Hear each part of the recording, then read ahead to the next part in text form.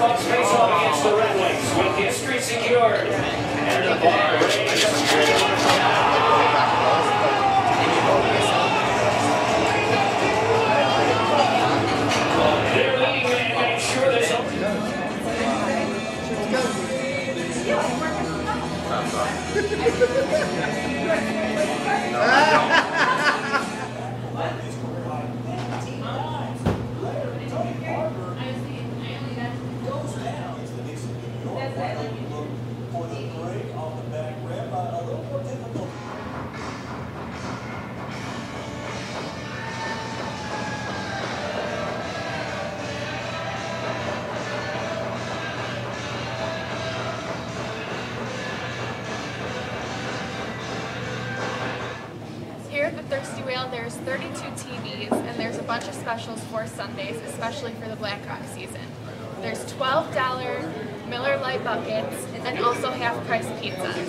How do you prepare your kitchen for a Blackhawks game, and how is it different than any other day at the Thirsty Whale?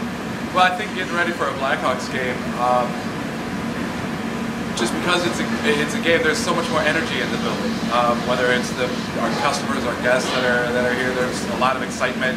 My guys, our staff, we get really excited because we know we're going to be busy. It's a fun night, so obviously there's a lot more prep that goes on, more volume we're going to do food-wise. But I think for us, it's just as exciting to, to be working as it is to be a fan out in the dining room because there's so much more enthusiasm in San Antonio.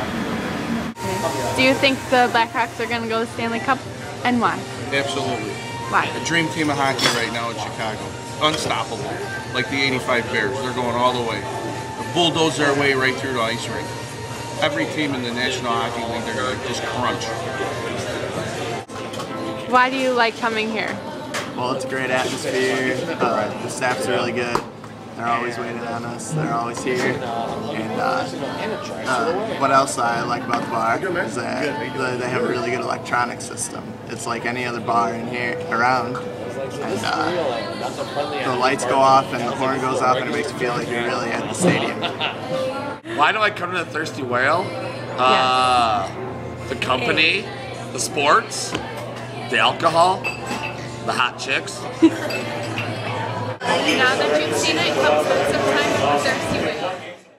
The Thirsty Whale is open Sunday through Thursdays from 4 p.m. to 1 a.m. and Fridays and Saturdays from 11 a.m. to 2 a.m.